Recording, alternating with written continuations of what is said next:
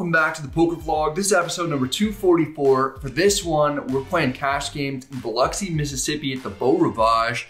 Uh, awesome episode. You guys are gonna love it. Before we get started, a couple things I want to talk about. The first is that we have our Lodge relaunch week going on right now. So I'm probably playing some massive stakes while you're watching this, potentially. Uh, we're playing 50, 100, and 200, 400 every day on stream. So that's gonna be awesome. Be sure to check that out. I have a link down below in the description box for the Lodge's YouTube channel.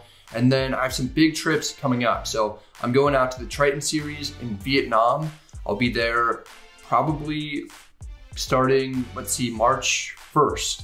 Um, I'll be there for about a week and then I'm going out to Cambodia. I'm not sure exactly what day I'm gonna arrive in Cambodia for the WPT yet, but um, probably around the 8th or 9th and I'll be there throughout like the remainder of the series. So I'm gonna be there for around two weeks. Um, we're likely gonna do a meetup game. We don't have anything set in stone yet for, uh, for Cambodia, but as soon as we have the details down, I'll put them below in the description box and you can follow me on social media for uh, more details as well. All right, guys, let's go ahead and get started.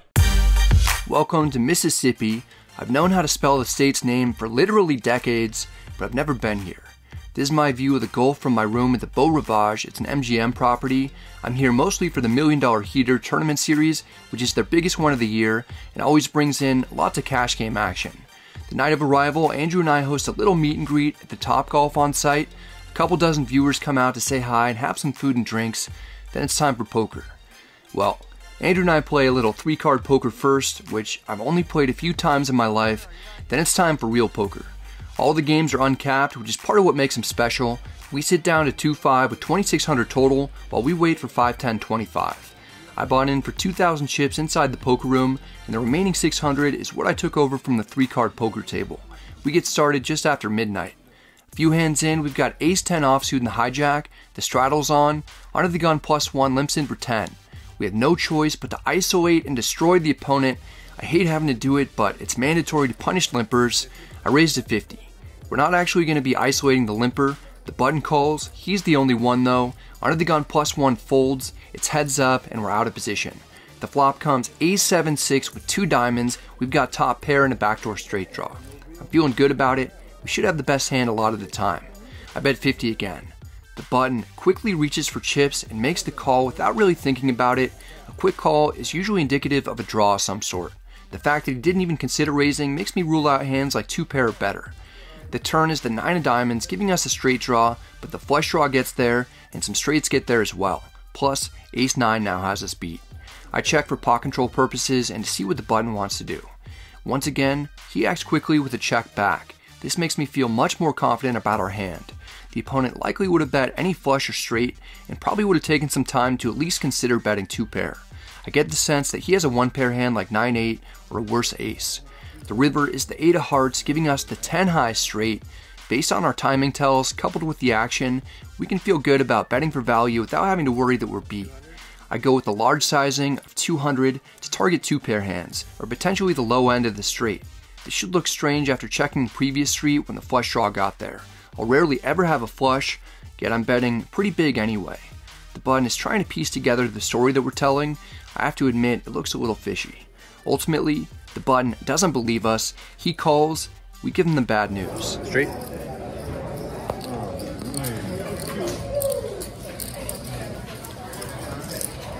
Ace five, you're the low end. We straight over straight the opponent to get the session started out on the right foot. We're already winning and we're looking to expand. We pick up pocket aces middle position after hearing people randomly shout roll tide several times without being prompted. I raise to 20. The cutoff calls, the button calls, then the small blind 3 bets to 130. This could get very interesting. We're playing super deep, there's over 500 big blinds in our stack, and the small blind has us covered. After taking a moment to just enjoy this feeling of getting 3 bet while we have the best possible hand, I lay down the hammer with a 4 bet to 340. A couple of players get caught in the crossfire, the cutoff folds, the button folds as well. The small blind has a decision to make. I don't get the sense that he 3 bet me light like I initially suspected. We're so deep, and I only made it about two and a half times the size of his 3 bet, so he could reasonably call with any pocket pair to try and set mine, then stack us. That's not what's going to happen. After about a full minute, the opponent shockingly folds pocket queens face up. For the vlog, you, we got nits over in, in, in Nice uh, fold, man. Nice fold. We got nits in uh, Mississippi. Apparently, we do got some nits in Mississippi. I don't know if I'm happy or mad about the fold. He kind of owns me with it, but if he hit a set, I have over 2,000 more behind that would have been deposited directly into his stack. 10 minutes later, we get called for the 5 10 25 game. I'm excited to play higher stakes. I've heard about how wild the action can get for a long time, especially in the bigger games. I'm finally in a position to see firsthand what high stakes in Mississippi is all about. There's a lot of money on the table. We add on for another 2,000. We're in for 4,600 total on the day. Our first straddle, we look down at Queen Jack offsuit under the gun. The cutoff raises to 75. If you look hard enough, you can see a blurry Andrew Neeme in the distance. He's in the one seat on the dealer's left, firing as well. Our hand is too good to abandon. We defend our straddle and call for 50 more. It's heads up, we're out of position. The flop comes ace king 10 with two diamonds. We've got the nuts with a backdoor royal flush draw. The people are so kind out here, they give us a very nice welcome to the table. I check, the opponent recognizes that we won't be very strong on this flop all that often because we would have 3-bet hands like pocket aces, pocket kings, ace king, and sometimes with pocket tens. He can accomplish a lot with a small bet. He only makes it 50. He can be doing this with a lot of really weak holdings as a bluff. I want to keep those weak hands in because maybe he'll double barrel while drawing dead. I'll save the check raise for the turn if it's a blank. I flat the 50 to keep our trap open. The turn is the ace of clubs, it pairs the board so it's not a blank at all. I check, the cutoff doesn't appear to be concerned about another ace coming out. He bets 175. He still could be bluffing, but he can also have plenty of full house combos. Check raising is a little sketchy at this point since we'll have so few full house combos in our range. If we raise, it opens us up to getting re-raised by all sorts of bluffs, and we'd potentially have to fold our straight, which has a lot of value. I call the 175 to keep the opponent's bluffs in once more, and to try to get to showdown without getting blown off of our hand, even though there are lots of bad river cards for us. The dealer puts out the deuce of clubs. This one's a blank unless the opponent has ace deuce or miraculously gets there with pocket deuces. I check one final time. I expect the cutoff to shut down a lot of his bluffs and check those back. We've called twice on a board that's very connected. We could certainly have plenty of trips combos, and even in this situation, we have a straight, yet the cutoff fires a third bullet for 450. We're never folding after under-repping our hand on the previous two streets. This is a pretty big bet though. It's now a very real possibility that we're up against a boat. When I'm considering raising, I think about what types of hands would fire all three streets and still be able to call a check raise on the river. Full houses definitely would, or they'd re-raise. Some hands like trips might fold. I could potentially get called by ace queen or ace jack, but that's probably it. And we have removal to those hands. If the cutoff is bluffing, he won't be able to call a check raise anyway. The amount of hands that we're beating that will call a check raise seems like a thin slice of the opponent's range at this point.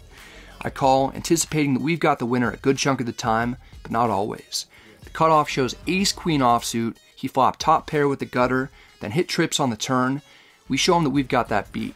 It's a weird run out for us, and we happen to be up against the very next best hand, so our check raise probably would have gotten called on the river. We still win several hundred, but sort of the minimum at the same time. It can just be dangerous getting greedy with the board pairing and having so many high cards out there. I'm okay with the outcome though. Next, it's our turn for Ace Queen. We're under the gun plus one. I raised to 60. There are quite a few interested customers. The button calls, who was the opponent in the last hand. He's out for revenge. The big blind calls, and the under the gun straddler calls as well. We're going four ways to the flop. It comes queen three deuce rainbow. We've got top top and a backdoor straight draw. Still, there are lots of other players in the hand.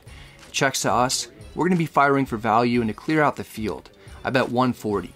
Maybe we'll win right now, or maybe we'll get one caller. I don't anticipate much more action than that. I'm very wrong. No one folds. The three opponents all call. I'm not even sure what to put everyone on. I imagine one player has a queen and the rest either have straight draws or are slow playing sets. The turn is another deuce, which I'm glad to see because it reduces the amount of set combos that we could have been up against, and there shouldn't be many deuces in my opponent's range, if any. It checks to me. I check for pot control purposes and to see how players will proceed going forward. The button checks back. I'm no longer concerned. He's going to have us beat. If nothing changes on the river, I'll only have to be worried about the big blind and the under the gun straddler. The dealer puts out the four clubs. Pocket fours make a boat. 6-5 and ace-5 also get there. The big blind bets 225. It's a tiny sizing that I take at face value. It looks like he has a medium strength hand like a bad queen and is trying to get to showdown as cheaply as possible. Under the gun folds, we won't be folding. We didn't put in the raise on the river in the previous hand that we went over, but we're putting one in here. I make it 600 to go. This is for pure value to get a hand like king queen or queen jack to call. The button folds, the action's on the big blind, he's got our number, it's 600, but he's not going to call us maybe. He re-raises to 1600. What on earth is going on here? They say if you get check raised on the river, you should almost always fold because you're pretty much just going to be up against the nuts. If you get 3 bet on the river, even more likely. I'm replaying the hand in my mind. I was so sure that the small river bet was a blocker. Now I'm wondering if he was trying to induce a raise with a hand like quad deuces or 3 or 4s full. I don't think that we'd get re-raised by a straight, so I'm ruling that hand out, especially because we have removal to ace 5.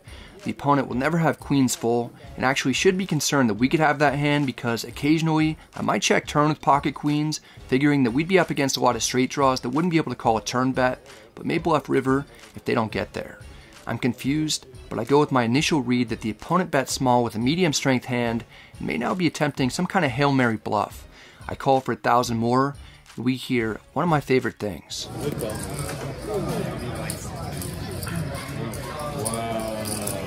The opponent turned queen 10 offsuit into an odd bluff and takes himself straight to value town. Our assessment of the situation is correct that the big blind bet small on the river to get to showdown cheaply, then for some reason decided to charge himself the maximum to get to showdown. We win a big pot even for the stakes we're playing tonight. Our stack climbs almost 8,000.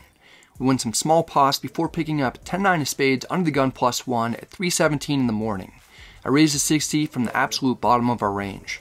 The cutoff calls, heads up, out of position. The flop comes Queen 8-7 with two diamonds and a spade. We've got an open ender with a backdoor flush draw. When we're playing out of position, we're going to be checking a lot more instead of c-betting. I check here to see how the cutoff wants to play this. He's not giving us a free card. He bets 75. We didn't check with intentions of folding. After grabbing a few green chips, we call. Maybe we can spike the six of hearts one time. The dealer puts out the king of clubs, not a card I'm too happy about. I check, the cutoff fires again, we're going to have to fold. There are only three really clean outs for us because even if we hit a jack, we can still get straight over straighted by ace 10, though that's not all that likely. The cutoff checks back, giving us an opportunity to drill the river. That's what we do. We get the six of diamonds, giving us a straight, but the flush draw gets there as well. If we check, nearly all worse hands in ours will check back, we'll be calling a bet anyway, even if we're beat. We can't let the worst hands in ours that might call a bet off the hook. I bet 250 for value. If we get raised, we can consider folding. In fact, that's likely what we'll do. Although we've already seen that raises and re-raises out here aren't necessarily what they seem. We don't have to worry about it. The cutoff calls. We show them that we got there on the Mississippi River. The cutoff can't beat us. There's no one that's really been able to tonight. We're running good and doing everything that we can do to extract as much value as possible outside of the Queen Jack hand. We've got 8,700 in front of us. We're up over 4,000 on the session. Here we look down at Jiggities on the button. The hijack raises to 75. We're playing seven-handed, so he's the second player to act pre-flop. We can mix in calling or three-betting. In this instance, we call, it's heads up, and we're in position. The flop comes ace 10 6 rainbow. Not exactly what we were hoping to see, but the hijack checks. I can't be sure that we're not getting trapped, and there aren't too many worse hands that will call a bet. I check back. The turn is the seven of hearts. The opponent checks again. It's unlikely that he's got an ace or better, Usually in these types of scenarios, we'll be up against a second pair type of hand like king 10 or queen 10. If that's what the opponent's holding, his hand has value so he doesn't need to turn it into a bluff, but he wants to get to showdown without putting much more money in the pot, so he checks with hopes of not getting blown off of it. We can beat pairs of 10s, and our hand is slightly under repped. I bet 100 for value. It also gives us control of the pot. The opponent isn't scared, he calls, perhaps he could have a draw of some sort in addition to second pair type of hands. The river is the four of hearts, completing the backdoor flush draw. The hijack checks. A big part of me wants to bet against small to target those same hands we were targeting on the turn, but just in case we're up against a flush, pocket kings or pocket queens, I'm not going to bet, but I let the opponent know that we have the winner if he has what I think he has. I have a 10 beat. I check. I don't have that beat. The opponent has pocket queens. Our read was mostly correct that our opponent had second pair. Unfortunately, he has one of the two second pairs that are better than our jiggities. There's obviously no right way to play him. we at least lose close to the minimum. Not 3 betting pre-flop pays off. By us, not having to pay off more. Six minutes later, we're dealt ace jack offsuit in the big blind. The cutoff raises to 60. The small blind calls. We can actually fold or call. Studies have proven that calling is at least seven times more fun. We call. The under the gun straddler also calls. We're going four ways to the flop. The dealer puts out ace jack six with two hearts. We've got top two pair and a multi-way pot. The small blind checks. We check, expecting the pre-flop raiser to occasionally bet. Under the gun checks. The cutoff is a giant disappointment to some YouTube viewers he's never met, and he checks back. Everyone gets to see a free one. The turn is the seven of diamonds. It's pretty much a blank. Small blind takes it upon herself to bet 75. Unless she's got pocket sevens or pocket sixes, we're gonna have the best hand. I raised to 250 for value. We don't want anyone behind to have an opportunity to call a relatively small bet with a draw and get there on us. We needed to make it more. Surprisingly, the under the gun player isn't immediately folding. He cold calls the raise. Maybe he has a worse two pair or a combo draw of some sort. He'd almost definitely re-raise with a set of sevens or sixes, so I'm ruling those types of hands that are beating us out. The cutoff folds. The small blind likes the price that she's getting. She calls for 175 more. She won't have us beat either. Three of us are still in, and we've got to be best going into the river. The dealer puts out the eight of diamonds. Some straights get there, but I'm not all that worried about straight draws completing when there are flush draw possibilities out there. It'd be pretty ambitious for someone to call a raise on the turn with 10-9 or 5-4 unless they also had hearts. I doubt either opponent would have 9-5 either. The Small blind checks. Missed draws won't be able to call a bet at any size. I'm going to target worst two pair hands like Ace-7, Ace-6, 7-6, 8-6 of hearts, and 8-7 of hearts. I bet 900, liking the run out that we got. Under the gun is in a tank for a while. If he just calls, we almost for sure have him beat because he'd obviously raise with 10-9 and perhaps even with 5-4. Ultimately, he tosses in a calling chip. I'm pretty excited about it. Small blind takes a little bit of time before eventually folding. We turn over our top two pair. The opponent turns over a set of sixes. I wasn't expecting to see that. I'm glad we didn't get re-raised on the turn because we could have lost a lot more money. The deck set us up to lose a good chunk there, and we did, but it could have been much worse for us. After losing a few pots and being down from the high point, I'm ready to call it a night and leave with what's still a sizable win.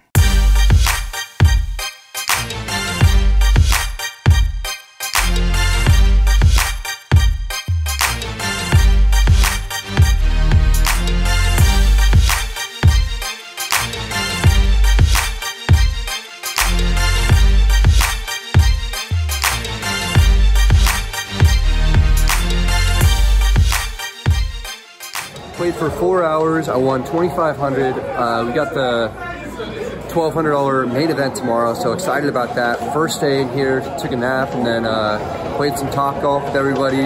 Wasn't really necessarily planning on playing a session or filming, but uh, really happy to come out of there with a win, and uh, excited for the rest of the trip too. After getting a little rest, we fire in the $1,200 main event that gets a phenomenal turnout of 1,074 players. The guarantee was 500,000, which is smashed. The total prize pool ends up being 1,127,000. On day one, I run up a decent stack of three times what I started with, but I can't get anything going beyond that, and eventually all the chips you see here disappear before we're able to make the money. The good news is that busting out of the tournament frees me up to play more cash games on the trip. That's it for this one, guys. I hope you enjoyed it. If you did, I'd appreciate it if you hit the like and subscribe buttons. It helps out the channel a ton. If you have any questions or comments, feel free to let me know in the comment section. I'm happy to get back to you. Um, next episode, we're back at the Beau Rivage in uh, in Biloxi and uh, play some more cash games. And the session gets even wilder, so um, that's going to be really cool. Uh, be sure to check out the Lodge relaunch week going on now, February 17th through the 25th. And uh, yeah, man, we're just playing some massive high stakes games. I've filmed this outro before I played any of the sessions um, at the lodge. So if I if I look like I'm getting just absolutely crushed, uh, don't worry about me. I mean, hopefully that's not the case. Hopefully I win, but uh, yeah, I'll be all, I'll be all right. I've kind of emotionally and mentally prepared for potentially getting wrecked. But um, I've been doing a lot of studying with uh, my my uh, coach Nick Petrangelo, and um, just trying to get things like tightened up so I can play my best. Uh, going out to Vietnam for the Triton series. Um, I have more information in the description box below for that. And then going out to Cambodia for two weeks with WPT. So I have a link to that trip with um, tournament schedules and all that stuff. And if we get the details down for the meetup game before I put this video out, then I'll have that in the description box below. All right, guys, hope you're all doing well. Hope you're staying safe. My apologies to Mike Matusow, and um, good luck at the tables.